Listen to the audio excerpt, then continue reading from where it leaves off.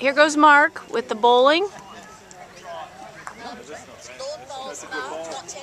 The white ball is way down there.